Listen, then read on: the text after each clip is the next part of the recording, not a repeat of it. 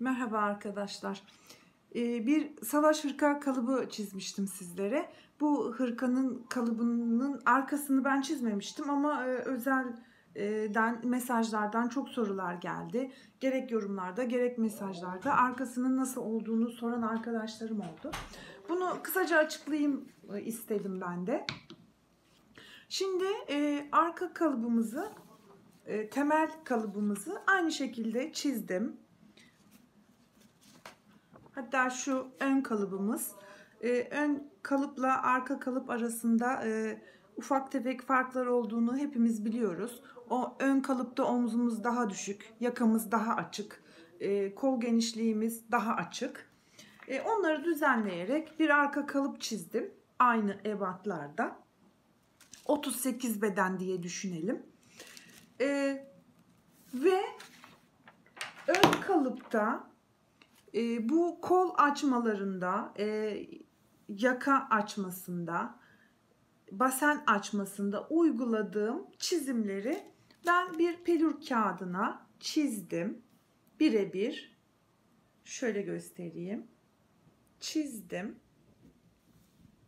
Bunu şimdi arka kalıp üzerinde uygulayalım. Arka kalıbımız bu. Ee, ben size yapıştırarak göstermek istiyorum piritte. Şöyle yapalım. Bu şekilde arka beden kalıbımızı çıkartacağız. Şöyle yapalım. Düz boy ipine çok dikkat etmemiz gerekir. Kumaş keserken. Ben de dikkat ettim. Şöyle yukarıdan alalım.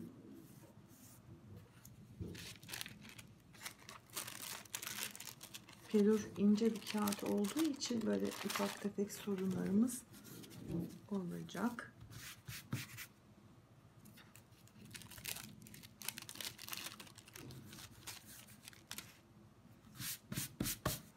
Şöyle arka kalıbımız aşağı yukarı çıktı. Şimdi şöyleydi. Bu ön kalıbımız ama arka kalıpta omzumuz daha yüksek, yakamız daha yüksek. Ee, bunları baz alarak. Gerçi bu modelde e, pensiz temel bedeniyle çalıştım. E, bu omuz düşüklükleri çok fark etmiyor. Çünkü panço, e, salaş, düşük. Yalnız yakada yaka yüksek bir yaka.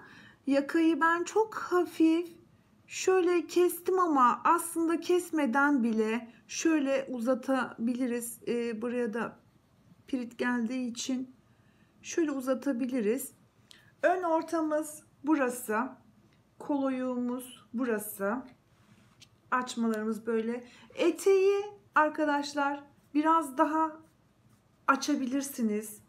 Bu sizin isteğinize bağlı. Kol genişliğini, baseni biraz daha açabilirsiniz. Bunlar hep sizin isteklerinize bağlı. Tabii kolu uzatabilirsiniz. Kolu daha kısa tutabilirsiniz. Bu şekilde e, pensiz temel kalıpla bir model uygulama olmuş oldu. Ön e, kalıp böyle salaş arka kalıpta bu şekilde çıkmış oldu. Soran arkadaşlarıma yardımcı olmak amacıyla bu videoyu çektim. Hepinize kolay gelsin. Beni izlediğiniz için çok teşekkür ederim.